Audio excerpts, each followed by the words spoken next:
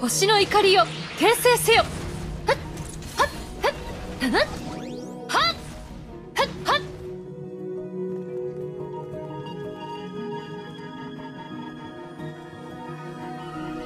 よっ。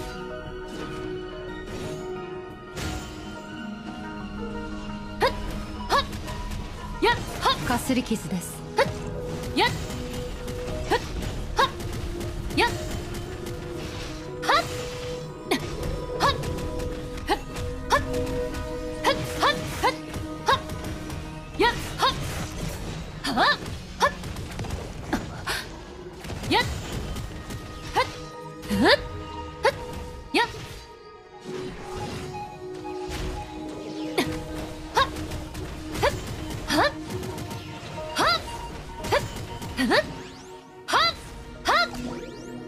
軍勢よ。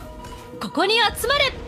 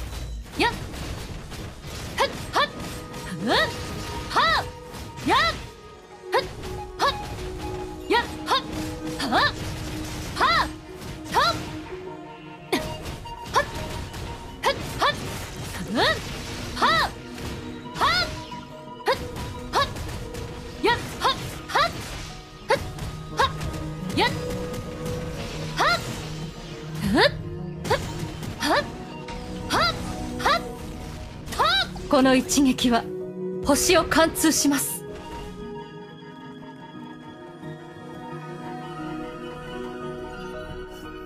見送りはここまでだ前方の道は規定外次元と深く融合したもののみが開けられる。長光さんの説明もこの段階までしかありませんでした。この先の空間についてはやはり何の情報もないのでしょうか？まあ、これほど虚数の木に近い空間には、今まで誰もたどり着けなかったからね。皆さんが今いる場所は、まだ漁師の海の影響がある場所だけど、先に進めば、完全に虚数の木の領域に入るわ。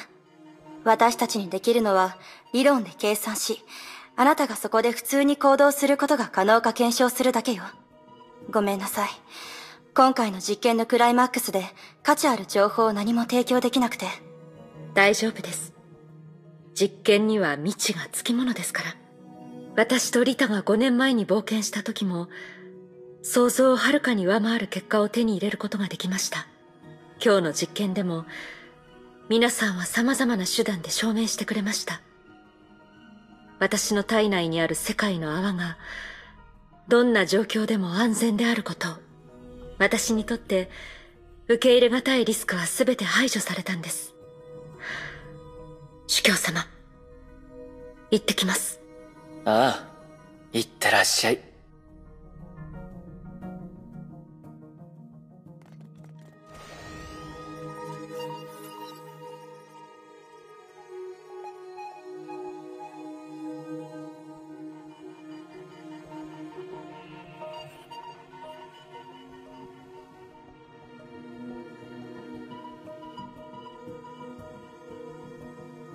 この最後の10年間、君は僕に見事な伝説を見せてくれたよ。ビアンカ・ー・タジナ。長光。どうしたの？オットーさん。あとは、ゲニウスを通してデュランダル本人を回収し、探索データを入手すれば実験成功だ。彼女の世界の泡が彼女自身の力で虚数の木と接続できるかどうか。それが僕の計画にとっては少しも重要ではないことを、君もよく理解しているはずだ。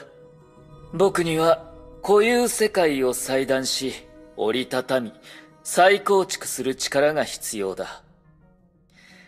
世界の泡は僕にとって多くの意義を持たない。